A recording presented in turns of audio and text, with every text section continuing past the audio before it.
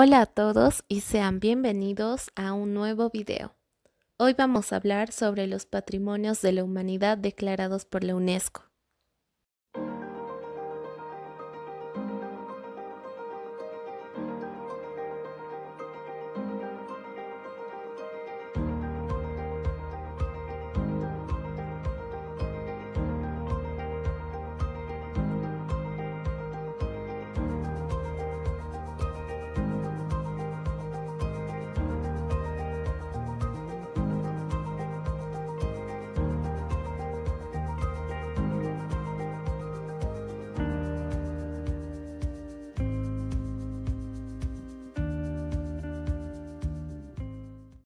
Hoy vamos a conocer un gran patrimonio natural que está ubicado en el país de China, Danxia.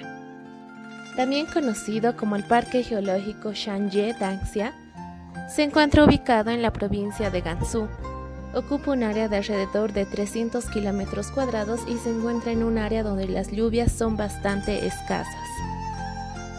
Estos paisajes se caracterizan por ser muy escarpados, con acantilados espectaculares, barrancos, valles, cascadas y otras múltiples formaciones geológicas, donde predomina el clima subtropical.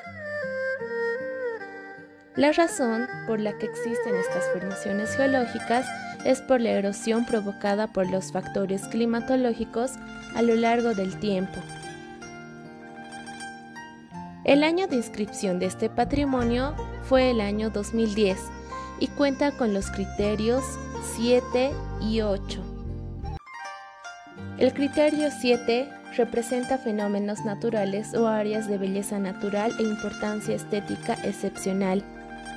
Y el criterio 8 es ser un ejemplo eminente representativo de las grandes fases de la historia de la Tierra, incluido testimonio de la vida, de procesos geológicos en curso en la evolución de las formas terrestres o de elementos geomórficos o fisiográficos de mucha significación. Este parque geológico Danxia cuenta con todos esos criterios.